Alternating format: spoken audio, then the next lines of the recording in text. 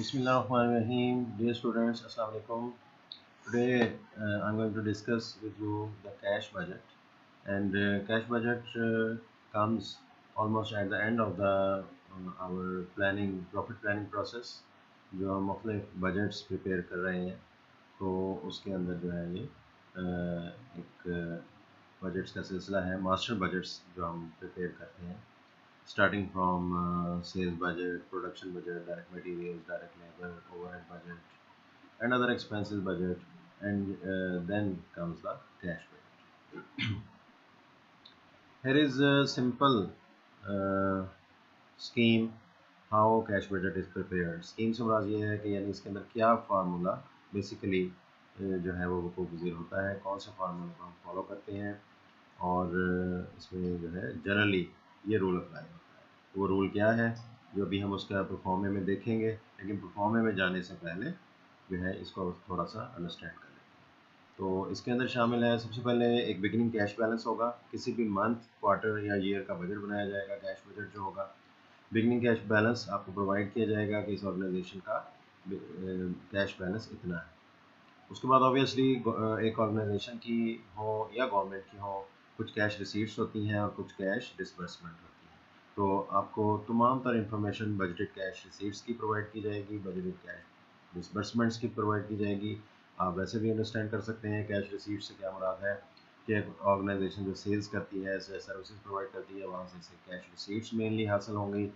अगर कोई bank deposits हैं तो उसमें से कुछ जो है वो प्रॉफिट्स जो उसने अर्न किए हैं वो उसको रिसीव होंगे, वो रिसीट्स में शामिल हो सकती हैं। कैश डिसबर्समेंट्स में सबसे जो है वो फ़ेमस डिसबर्समेंट हमारी परचेजेस की होती है और उसके बाद फिर हमारे एक्सपेंडिचर की होती है। इनकम स्टेटमेंट को ज़रा विजुअलाइज करें। तो ये दोनों कैश रिसीट्स और कैश डिसबर्समेंट्स के सोर्स आपको जो है वो अच्छे तरीके से पता चल जाएगा। तो इस बहुत सिंपल से फार्मूले के बाद जो कैश बैलेंस आएगा beginning cash balance plus receipts minus disbursements बहुत इजी फार्मूला है। इसको प्रिलिमिनरी कैश बैलेंस करार दिया प्रिलिमिनरी कैश बैलेंस से मराज ये है कि इस कैश बैलेंस को देख के ऑर्गेनाइजेशन फैसला करेगी कि क्या हमारे पास इतने सफिशेंट रिसोर्स हैं, इतने सफिशेंट कैश है कि हम अपने लोन्स को पे कर सकें या कोई हम इन्वेस्टमेंट नहीं परचेज़ कर सकें, ठीक है? और सिक्योरिटीज़ परचेज़ कर लें शेयर्स परचेज़ कर लें। और अगर हमारे पास ये वाला प्रिलिमिनरी कैश बैलेंस मुनासब नहीं है तो हमें फिर कुछ जो है वो लोन लेना पड़ेगा that is short term loan लेना पड़ेगा तो उसका डिसीज़न किया जाएगा। जब इस प्रोसेस से भी हम गुजर लेंगे, यानी कि प्रिलिमिनरी कैश बैलेंस के बाद हम रीपे लोन और बाय सिक्योरिटीज़ कर चुके होंगे, या हम शॉर्ट टर्म लोन ले चुके होंगे तो उसके बाद जो हमारे कैश का बैलेंस होगा that would be final cash balance तो इस बेसिक फार्मूले को जहन में रखते हुए हम आगे प्रोसीड करेंगे। Organization is hockey den has a September thirty cash balance of twenty thousand dollars तो हमारा uh, पिछले महीने का ending balance twenty thousand dollars है और uh, ये जो हम बजट uh, बनाने जा रहे हैं that will comprise of the months of October November and December ये क्वार्टर का होगा। तो सितंबर थर्टी को अगर cash balance twenty thousand dollars है तो अक्टूबर फ़र्स्ट को यही बैलेंस ट्वेंटी थाउज़ेंड डॉलर्स जो है बिगनिंग बैलेंस करार पाएगा। एक और इन्फॉर्मेशन आपको छोटी सी दे दी गई है कि नवंबर के अंदर थ्री थाउज़ेंड डॉलर्स का कैश डिविडेंड पे करना है इस ऑर्गेनाइजेशन से ने। तो लेट्स मूव मज़ीद इन्फॉर्मेशन ये आपको प्रोवाइड कर दी गई है कैश रिसीट्स एंड पेमेंट्स के हवाले से।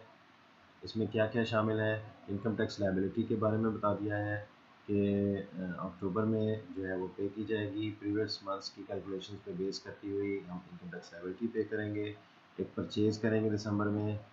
इसी तरीके से एक बैंक के साथ एक एग्रीमेंट है कि लोन के हवाले से कि वो मिनिमम कैश बैलेंस जो है हमारा मेंटेन करेगा वो बैंक ट्वेंटी थाउज़ेंड डॉलर्स तक।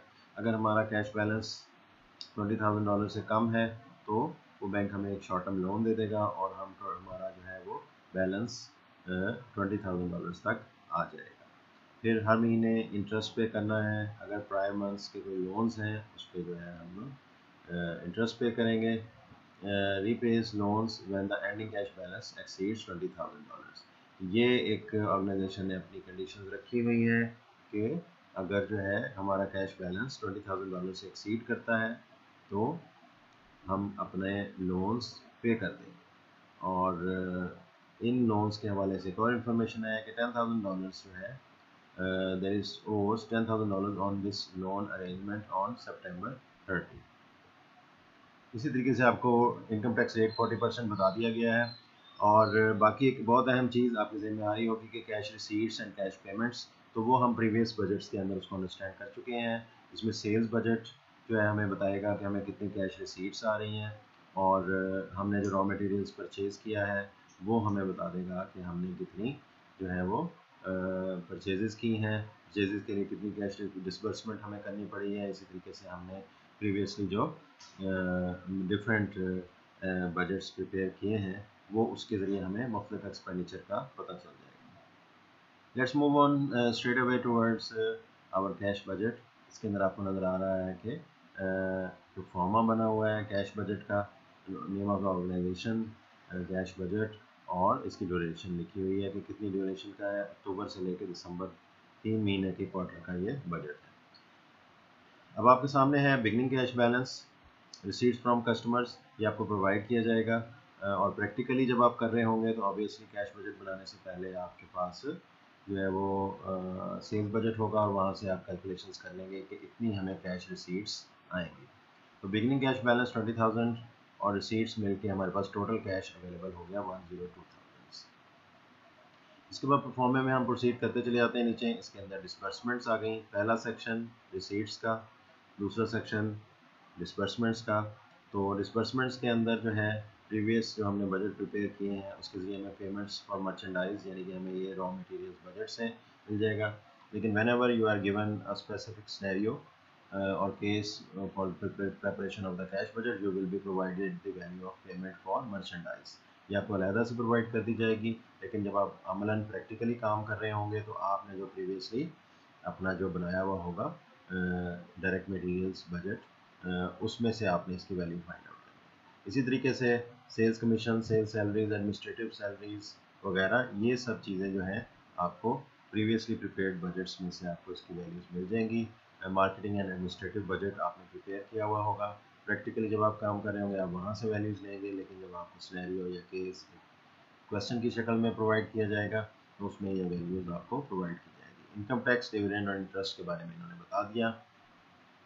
इक्विपमेंट परचेज का भी बता दिया टोटल डिसबर्समेंट जो है हमारे पास आ जाएगी तो टोटल कैश अवेलेबल यानी कि रिसीट्स में से जब हम टोटल डिस्बर्समेंट्स को माइनस करेंगे तो हमारे पास प्रिलिमिनरी कैश बैलेंस आएगा जिसके बारे में प्रीवियसली मैं आपके साथ थोड़ी देर पहले डिस्कस करके आया तो ये सामने आपके आ गया कैश रिसीट्स बजट से हमने ये वैल्यूज़ फाइंड आउट की हैं कि 82,000, 92,000 और 104,000 हमें कैश रिसीट्स बजट से पता चलेगा जो कि सेल्स बजट के साथ एसोसिएटेड एक बजट होता है जो कि प्रीवियसली हम इसको पढ़ रहे हैं।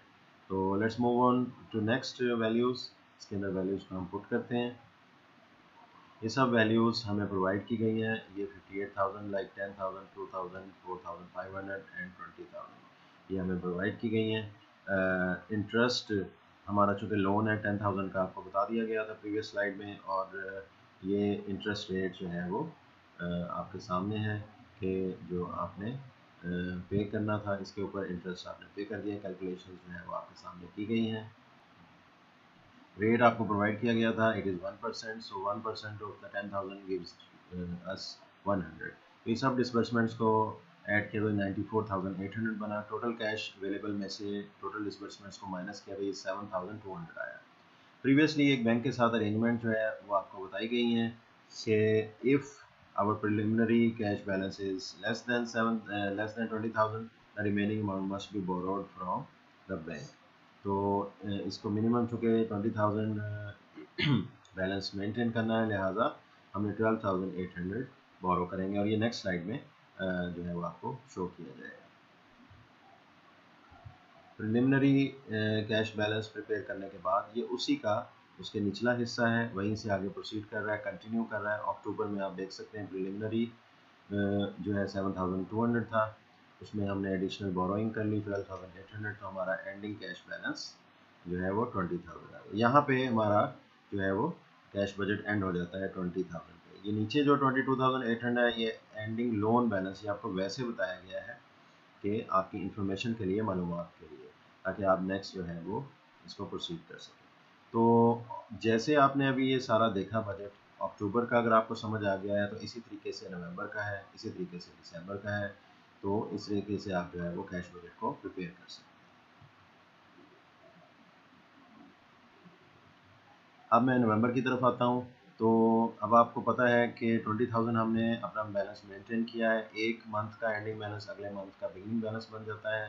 तो नवंबर का जो है वो अक्टूबर का ending balance twenty thousand November का बिगनिंग बैलेंस हमें ट्वेंटी थाउज़ेंड नज़र आ रहा है। रिसीट्स हमें प्रोवाइड कर दी गई हैं, ये टोटल कैश अवेलेबल हो गया। अज्यूम कीजिए ये सब आपने डिसबर्समेंट्स नोट डाउन कर ली। लोन की अमाउंट आपको बता दी गई थी, वो आपने इसमें पुट कर दी। वन परसेंट के हिसाब से ये इंटरेस्ट आ गया, ये आपकी टोटल डिसबर्समेंट्स हो गई। अब आप गौर से देखें कि अब आपका जो प्रिलिमिनरी बैलेंस है, वो काफ़ी मुनासिब है ट्वेंटी थाउज़ेंड से ज़्यादा है। तो लिहाजा अब हम अपने लोन को रीपेमेंट की तरफ़ जाएँगे। हमारा loan twenty two thousand eight hundred है इजीली पे हो सकता है। तो अब हम नवंबर की जो है वो नेक्स्ट पोर्शन को देखते हैं, जो कि हमने प्रीवियसली पहले अक्टूबर में देखा था। तो ये देखिए फोर्टी फाइव थाउज़ेंड हमारे पास प्रिलिमिनरी बैलेंस था। लोन हमने उसमें से पे कर दिया लोन हमारा ज़ीरो हो गया और रिमेनिंग हमारा cash balance twenty two thousand two hundred and seventy two dollars हो गया। ये हमारा नवंबर का काम भी कंप्लीट हो गया। इसी तरह अब हम, इसी तरह अब हम दिसंबर की तरफ़ आते हैं। दिसंबर में देखिए तो आपके सामने वही नवंबर का एंडिंग बैलेंस भी काम था बिगिनिंग बैलेंस होगा दिसंबर इसमें हमने रिसीट्स फ्रॉम कस्टमर्स हमें प्रोवाइडेड हैं, हमने आराम से लिख दिया कैश बैलेंस आ गया। It assume that all the disbursements are available हमने पुट कर दी।